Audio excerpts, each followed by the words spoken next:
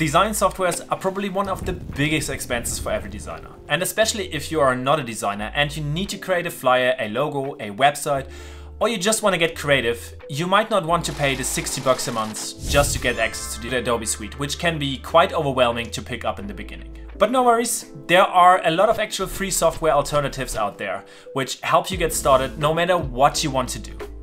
For example, if you want to design your own website, then Figma would be your go-to option. Figma is a versatile cloud-based design tool that enables users to collaborate on a variety of design projects, including user interface, user experience, graphic design, and prototyping. It has become a go-to tool for professional designers, but its features and benefits extend well beyond only just professional designers. Figma is used for UI UX design, so creating interfaces for websites and applications, and you can do prototyping in it, which means that you can build interactive prototypes to test and present the design concepts. You can do graphic design in Figma, which means designing visuals, including logos, icons, and marketing materials. And it's also a great tool for actually collaborating, so you can share your designs and your prototypes with either team members or clients in real time. The advantages of Figma is that it's really easy to use. Figma's intuitive interface makes it accessible to people with little or no design experience, allowing them to start creating designs or modifying existing ones without a steep learning curve. Another benefit is the collaboration we talked about. So for teams that include both designers and non-designers, Figma's collaborative features streamline communication and feedback. Non-designers can comment directly on designs, suggest changes, and even make edits all in real time. And Figma has a great accessibility. Being cloud-based, Figma can be accessed from any device with an internet connection, eliminating the need for powerful hardware or software installations. Figma offers a wide range of templates and resources that can help beginners get started on their design project quickly. It also provides an opportunity for learning design principles through practice and exploration within the tool. Beginners can use Figma to create simple prototypes of product ideas or improvements, enabling them to test functionality and user experience without needing to code. Figma also integrates well with other tools commonly used by non-designers, such as Slack for communication or Microsoft Teams, making it easy to incorporate it into your existing workflows. So all in all, as a beginner, Figma can serve as a bridge to better understand the design process, enabling you to contribute more effectively to creative project. It democratizes design by making it more accessible and understandable to those without formal training fostering a more collaborative and inclusive approach to creating digital products and services. Next up we have GIMP. GIMP is a free open source software program used for various tasks such as photo retouching, image composition and image creation. Available across multiple platforms including Windows, Mac OS and Linux. GIMP serves as a versatile tool for graphic design, photography, illustrations and more. It is mainly used for photo editing, from basic cropping and resizing to advanced photo retouching, GIMP basically provides a wide array of tools for enhancing and editing photographs. It's also used for graphic design, meaning users can actually create icons, graphic design elements, and art for user interface components and mockups. Speaking of art, you can actually do digital art in there as well, either from scratch or by modifying actually existing images. And you can also use it as image converter, GIMP can be used to convert images between different file formats or to prepare images for web use, ensuring that they are optimized for loading times without significant loss of quality. The advantages are that the program is cost effective. Being free and open sourced, GIMP is a cost effective alternative to paid softwares like Adobe Photoshop. It's ideal for individuals or small businesses with limited budget. But despite being free, GIMP includes a robust set of tools that cater to a wide range of image editing needs. From simple adjustments to complex manipulations. GIMP offers a customizable interface, allowing users to adjust the layout, tools, and features to suit their workflow. This flexibility makes it approachable for beginners and non-designers who may feel a little bit overwhelmed by too many options. And there's also a large community of GIMP users, which means a wealth of tutorials, forums and free resources are available to help you as a beginner learning how to achieve the desired results. Being available on multiple operating systems ensures that no matter what hardware you have, you can access and use GIMP for your image editing needs. A wide range of plugins and extensions can add new functionalities to GIMP, extending its capabilities beyond the default installation. GIMP offers a gateway into the world of digital art and design without the investment required for professional grade software. It provides a platform for learning and experimenting with digital creation, whether for personal projects, enhancing social media content, or creating visuals for small business needs. GIMP's blend of powerful features and a supportive community makes it a valuable tool for anyone looking to explore image editing and graphic design. Following GIMP, we have Canva. Canva is a user-friendly web-based design tool that allows users to create a wide range of visual content with ease. It's designed to simplify the graphic design process, making it accessible to individuals with little or no design experience whatsoever. Canva is used by professionals and non-designers alike for creating everything from social media graphics and presentations to posters, flyers, and you can even create videos in there. So what's the use case for Canva? You can easily create eye-catching graphics for platforms like Instagram, Facebook, Twitter, and Pinterest. You can design professional-looking presentations with a variety of templates and tools. You can produce flyers, posters, brochures, and other promotional materials. Or you can create personal or business related items like invitations, business cards, and stationery. And as I've mentioned, with Canva, users can also create short videos, making it versatile for digital marketing and content creation. Its main advantages are that it's really easy to use. Canva's drag and drop interface make it incredibly easy for non-designers and beginners to create professional quality designs without prior experience or training in graphic design.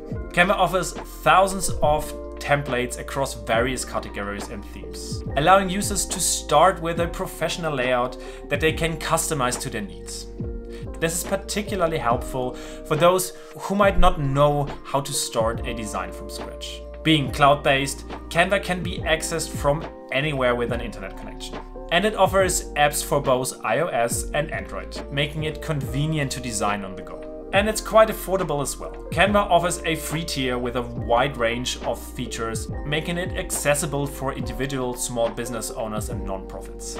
There's also a paid subscription that provides access to more advanced features and a broader selection of assets. It's also really easy to collaborate in Canva, enabling teams to work together on designs in real time, share feedback and make revisions all within the platform. With a vast array of design types and the ability to customize every aspect, Canva is suitable for a wide range of projects, from simple social media posts to complex printables and even small video projects. Canva also offers tutorials and design courses that help users improve their design skills, making it not just a tool for creation, but also a platform for learning. Canva democratizes the design process, offering the tools and resources needed to produce versatile, appealing content without the steep learning curve traditionally associated with professional design softwares. Its user-friendly interface, combined with a wealth of templates and design elements, enable anyone basically to create high-quality designs effectively and efficiently. Next up we have Inkscape. Inkscape is a free open source vector graphics editor similar to Adobe Illustrator or CorelDRAW. It's designed to work with the scalable vector graphics, so SVG files. Also, it supports other file formats as well. Inkscape is used by designers and non-designers for a wide range of graphic design tasks, including vector illustration, logo creation, icon design, and layout for web print and mobile interfaces. Inkscape is used for creating scalable vector images that can be resized without losing quality. It's also used to design logos and other branding elements that require scalability for different mediums. But you can also create icons for applications, websites and user interfaces. You could also try yourself with designing and manipulating text for posters, flyers, and other visual compositions as well. You can craft graphics for websites that need to be scalable and lightweight. One of the main advantages, as with the other programs as well, is that it's really cost effective.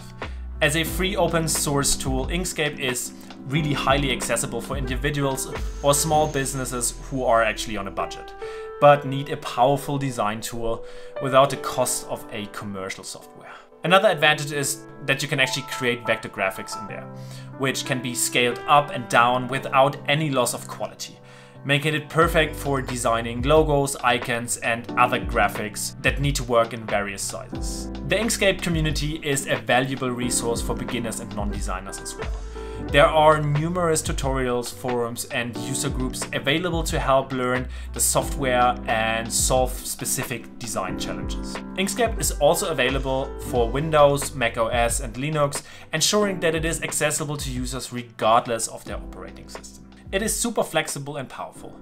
Inkscape offers a comprehensive set of tools for creating, editing, and converting vectors, rivaling those found in commercial vector graphics softwares. Users can also customize their interface to suit their workflow, which can make the software more approachable for beginners and non-designers once they've learned the basics. Another great advantage is that it supports a lot of file formats. In addition to SVG, Inkscape supports a wide range of file formats, making it easy to import and export work to other graphic design softwares, web and print. For beginners, Inkscape provides a powerful yet really cost-effective solution for entering the world of vector graphics.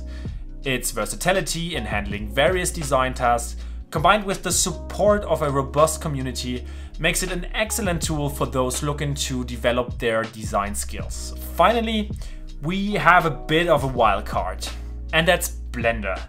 Blender is not a typical graphic design program, but I want to mention it anyway because it's absolutely astonishing that a software like this is actually free. Blender is a open source 3D creation suite that supports the entirety of the 3D pipeline. Modeling, rigging, animation, simulation, rendering, composition and motion tracking, and even video editing and game creation. Advanced users can utilize Blender's API for Python scripting to customize the application and writing specialized tools.